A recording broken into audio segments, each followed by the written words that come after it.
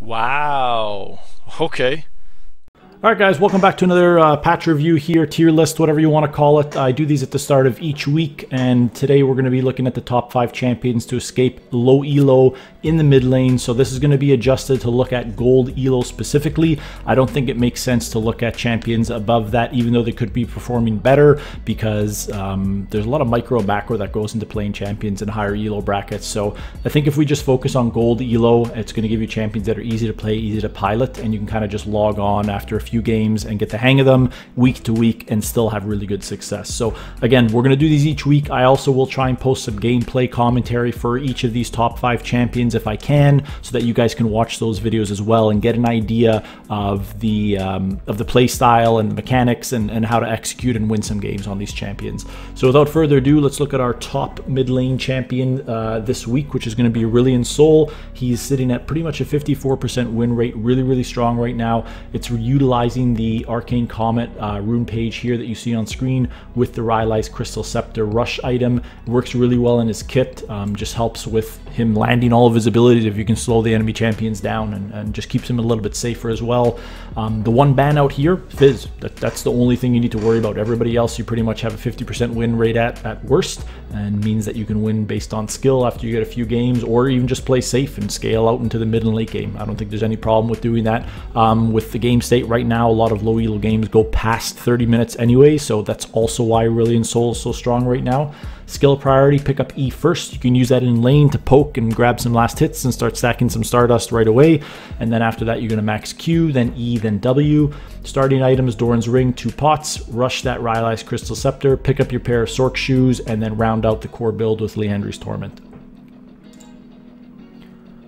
Okay, second best champion you can play this week for some free elo and to hopefully escape gold um, and get the platinum would be Brand. So Brand's really, really strong. I think he's got an easy to execute kit. You'll always almost top the charts damage-wise every single game when you play this champion. So it's just really, really good. You could have a bad laning phase. Mid-game, you press R, you're still going to deal a bunch of damage. So um, Comet rune page for him as well. Just seems to be really strong for most mages right now. The rush item for him is going to be Liandry's Torment. So um, Suffering is just going to add a little bit of extra oomph when you land your R and uh, and deal some extra damage. And the Torment as well. I mean, dealing damage with abilities causes enemy to burn. So you can have two burning aspects because a lot of uh, Brand's abilities burn too. So it just stacks up to a lot of damage, which makes Brand so strong right now. His weakest matchup is actually Xerath. Um, I don't think you'll play too many Xeraths, but pretty much after that, everybody else is at worst about a 50% win rate. So if you're going to ban someone and you do hate Xerath, ban him. But other than that, whoever you don't like playing against based on your experience, you can ban. He doesn't really have any weak matchups right now.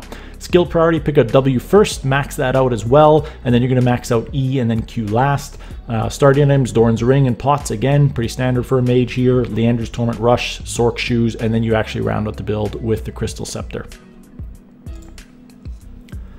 Naafiri, our, our AD champion, actually, out of the top five uh, for this week. You're going to make sure you play her if you want um, a little bit more aggressive laning pre-6. You want to maybe snowball, fight with your jungler, leave lane, um, have a bigger impact, and just general playmaking. Like AD assassins generally have the ability to hopefully make something happen at level 3 or even earlier if you want to use Flash at Ignite. So she is going to be your AD assassin option in this week's top 5. Uh, inspiration here, Tree with the first strike just to make sure you can stack that gold and try and snowball even harder. And then the Eclipse Rush. Eclipse is really strong item right now.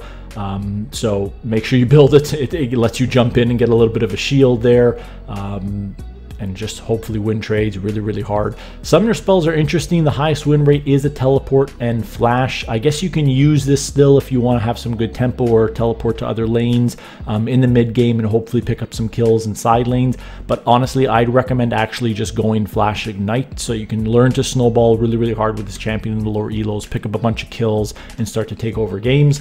Toughest matchups for her is actually Swain, and he's next in this list, so he's a really strong champion right now. I would just ban out Swain, Diana, Brand, Neeko are tougher for you, but I don't think it's anything that you just can't safely lane against and then leave lane and start to roam or play with your jungler and, and fight in skirmishes and pick up kills that way. Skill priority for Naafiri, if you haven't played her, you want to max out Q first, then E, and then W last. And starting items here, long sword and refillable potion is the highest win rate. Again, I would adjust this personally to go Doran's Blade and uh, and a pot. I think it's just a little bit safer with the starting stats that you get, unless you're very experienced on this champion and you want to try and stomp through your your low elo opponents and then rush the Eclipse. Follow that up with the Ionian Boots of Lucidity for the um, Ida or sorry ability haste, and then round out the build with a Profane Hydra. Okay, he made his appearance here in the fourth spot this week. We've got Swain. He's at an almost 53% win rate. He's really strong right now. You want to rush um, the Malignance item, and you're going to pair that up with a Conquer rune page. He's actually utilizing summoner spells of Flash and Ghost. Ghost is really good with his ultimate. Lets you stick on your opponents a little bit easier um, and, and be that kind of really fear champion once he hits level 6 and he has that ability off cooldown.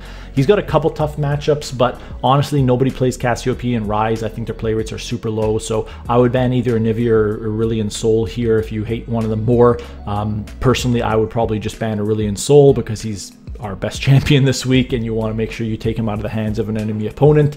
So I would ban him out. Skill priority, pick up E first so you have that uh, ability to start uh, poking with uh, a little bit of a snag and grab there and, and start stacking up some health if you can. And then you're going to max out Q, W, and E last. And then starting items, Doran's Ring, Pots, Rush the Malignance, Sorc Shoes, and again, you guessed it, a Rylai's Crystal Scepter. This seems to be such a strong item right now for any kind of mid-ranged mage that wants to fight and continue to deal damage. So um, yeah, it's going to be another pickup again here for Swain.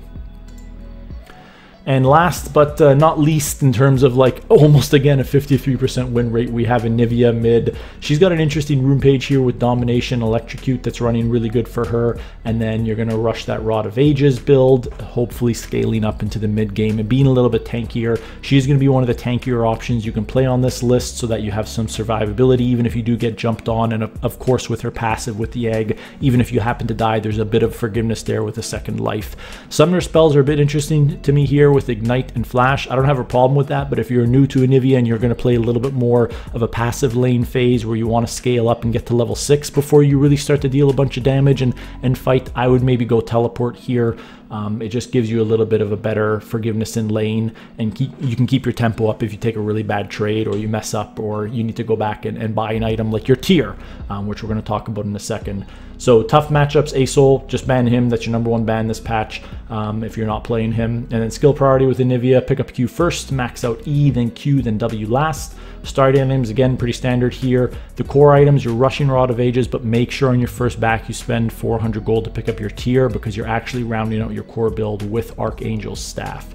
So that's your core build with Anivia. That's our top five champions this week. I'm going to try and post some gameplay commentary if I can for maybe one or all of these champions, depending on timing here, so that you guys can watch and follow along and see how OP these champions are this week. And if you don't have an idea of how to play them, you can maybe watch a 20 minute video and get a pretty good understanding of how to play them at a basic level. So hopefully you guys enjoyed the video. I will catch you again next week for our updated top five champions to climb out of low elo.